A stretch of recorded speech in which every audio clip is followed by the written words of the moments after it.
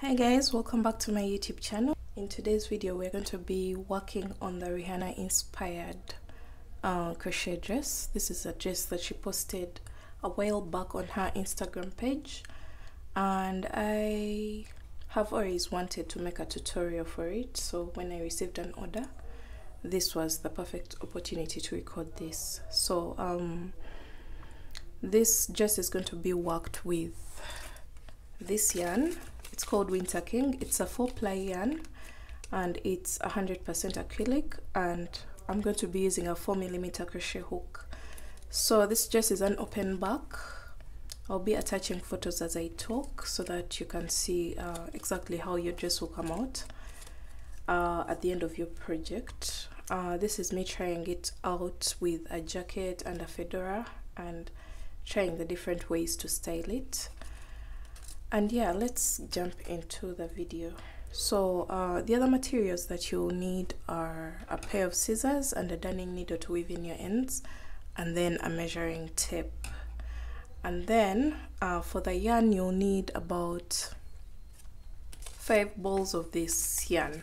four to five balls depending on the size that you're making and the length that you're making so that can differ but I used about four to five balls which is about um,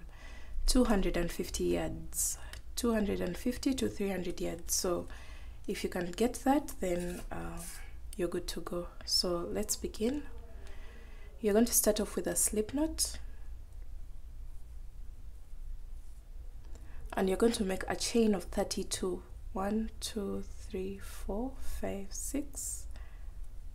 8 9 10 11 12 13, 14, 15, 16, 17,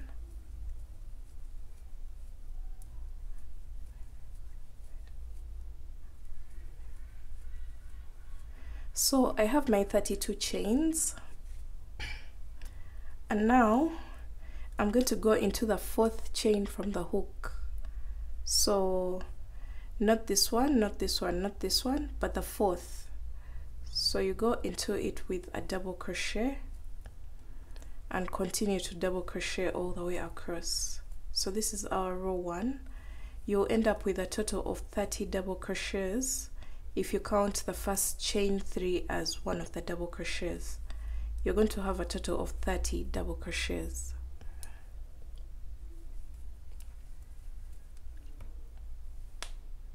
so I'm done with my very first row and I've ended with a double crochet into the very last chain and now we're going to start making increase rows so you're going to chain two and that chain two counts as a double crochet and then turn your work and place one more double crochet into that first stitch so so far we have two double crochets the chain two and the double crochet that we've just placed and then continue to double crochet once into each and every stitch until you reach the second last stitch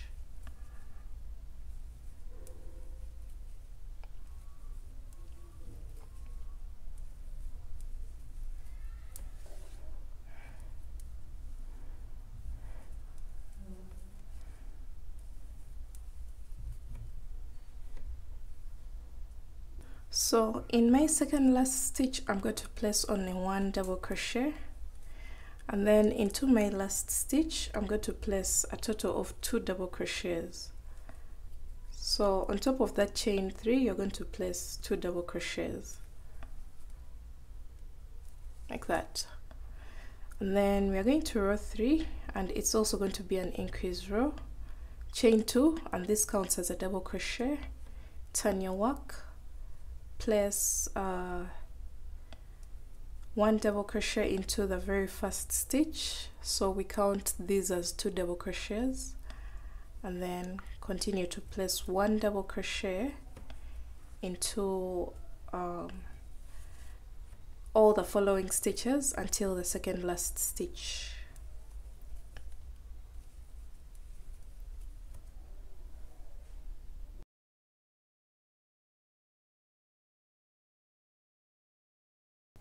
so I'm going to place one double crochet into my second last stitch and into the last stitch which is the chain two I'm going to go into it with two double crochets and we're going to repeat this row until we get to our um, waistline so you're going to repeat this row three creating your increase rows until you get to your waistline Alright, so I continued to do my increase rows until I reached my waistline and for that I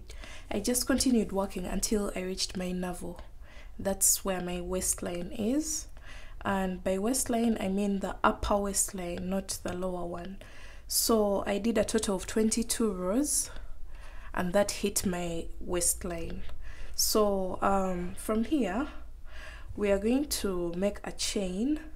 that goes around our waistline comfortably. So my waistline is about 25 to 26, but uh, for my client, that was about 27. So that's what I'm going to do. Um, right now, I have a total of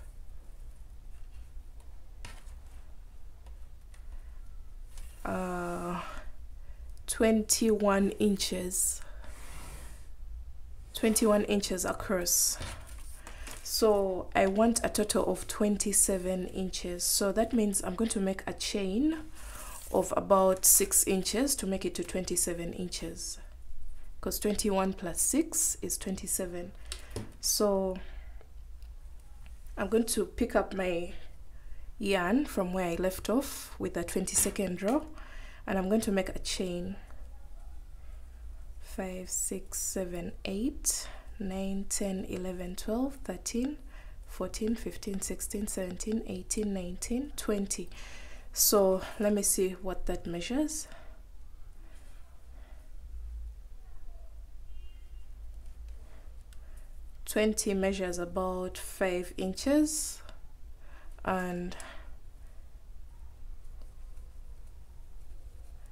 25 you can see I'm not overstretching my work because I want it to be comfortably fitted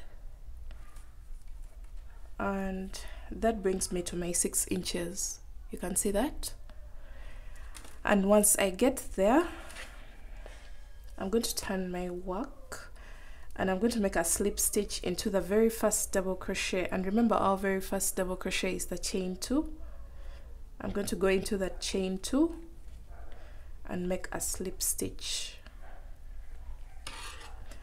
and now we are going to start working in rounds but what I want to do I don't want my seam line to be on the side of my dress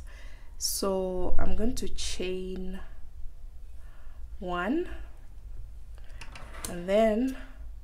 I'm going to cut my work cut my yarn and then I'm going to find the middle stitch of the 25 so that should be the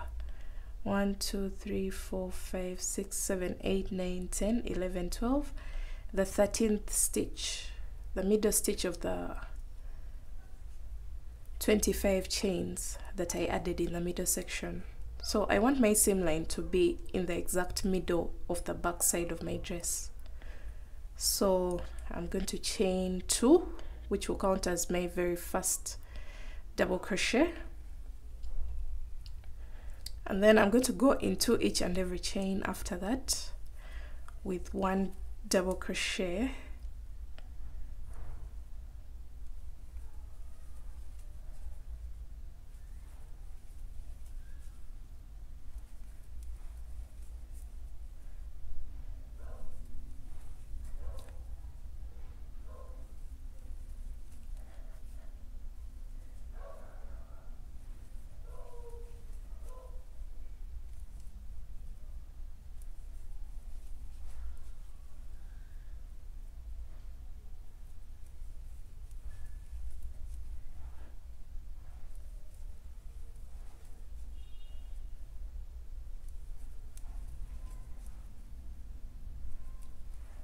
and then after making it across the chain now we are going onto the body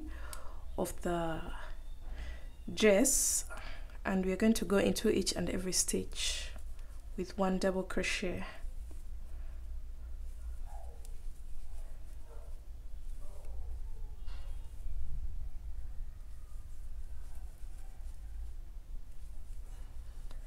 So go all the way around until you get to this point. When you get here, you're going to continue to work one double crochet into each and every chain and I'll meet you at this point.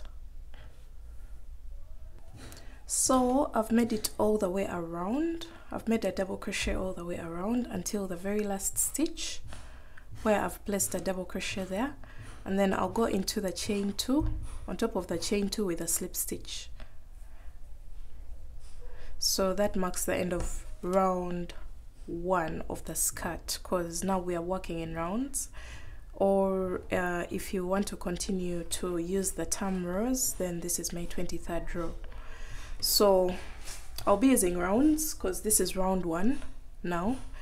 because the other ones were rows so you're going to chain two which counts as your very first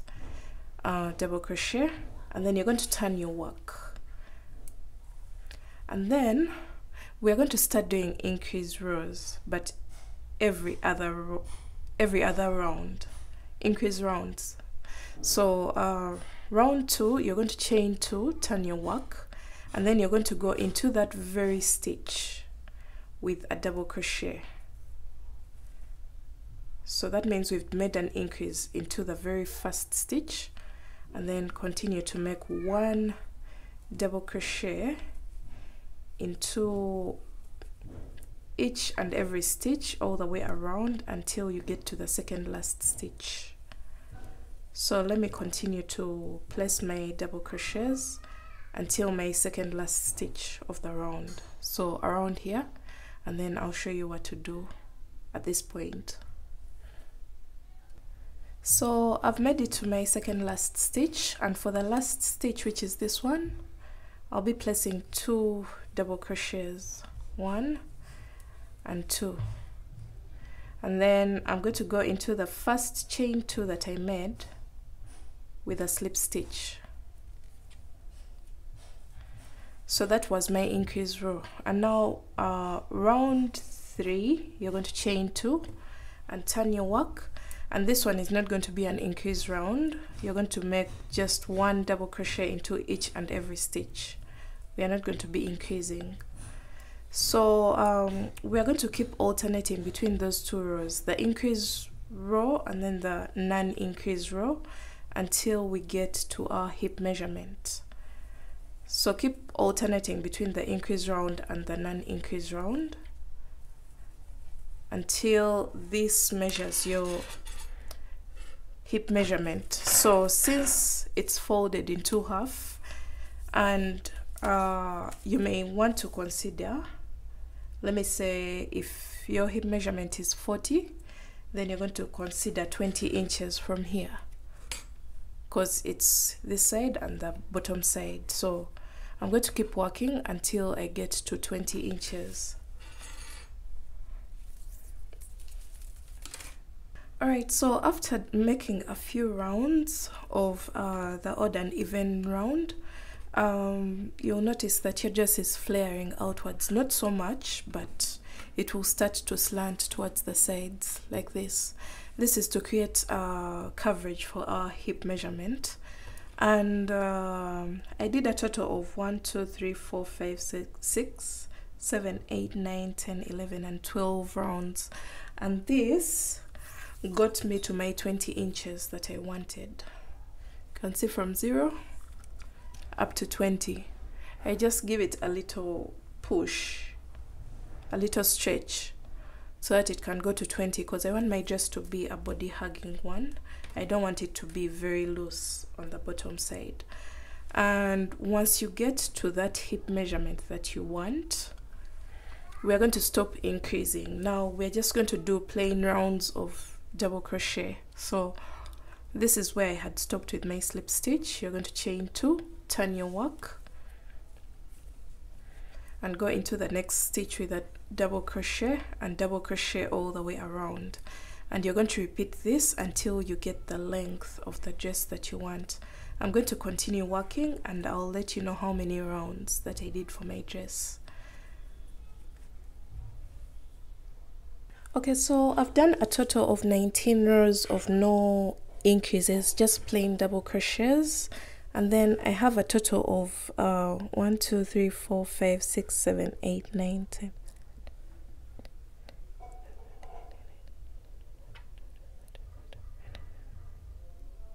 Twenty-nine rows right from um, the very first round of the skirt.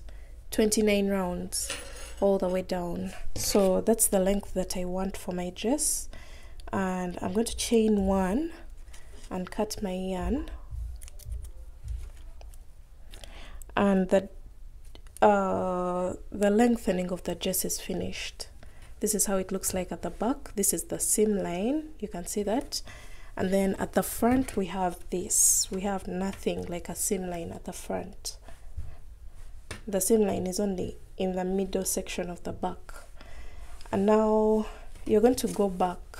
to the top of your dress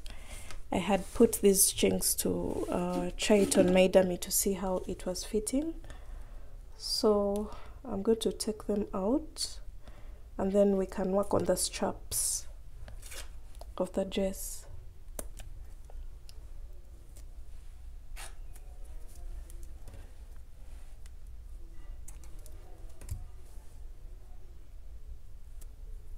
So for the straps, um,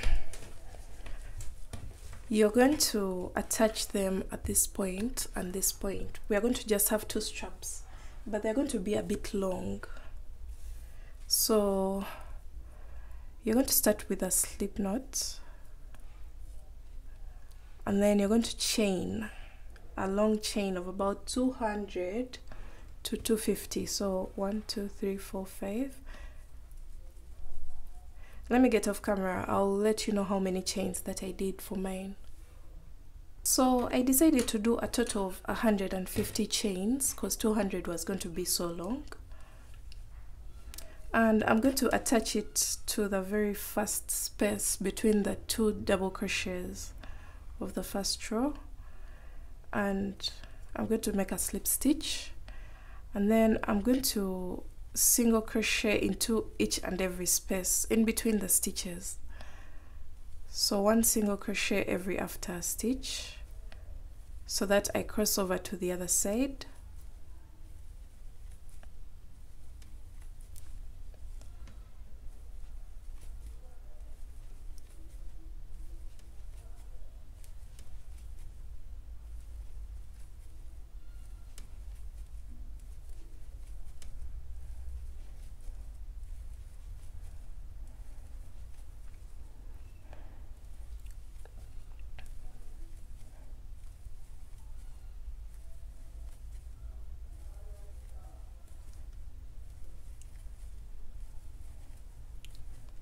so we're almost coming to the end of the row and I'm placing my very last single crochet in between the last two stitches and after this we're going to make a chain of 150 just like we did on this side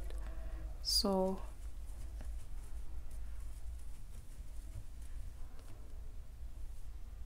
so after your 150 chains on the opposite side you're going to cut your yarn so you'll have two straps so you're going to turn your work to the back side and this is how it looks like uh, you can go ahead and make a row of edging all the way around here um, but that's optional so you're going to grab this strap on this side and you're going to bring it to this side we're going to form an X at the back and now I'm going to go into this space here at the base of uh, this very first row of the halter top so at the base and then I bring through this strap like that and then I'm going to do the same on this side at the base of the halter top here at that point and bring through the, the other strap so we are going to have an X at the back and now uh, we are going to be putting the strap into two two two stitches so in and out of two stitches so these are my two there are two stitches here and then two stitches here so I'm going to pull through you can see it's on top here and then it's below two stitches and then you continue to do that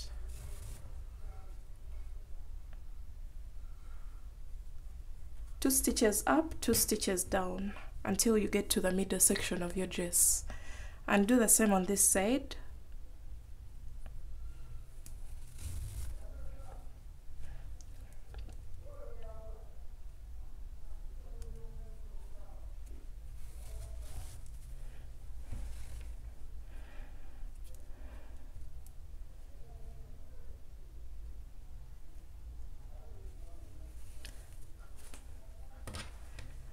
and now we have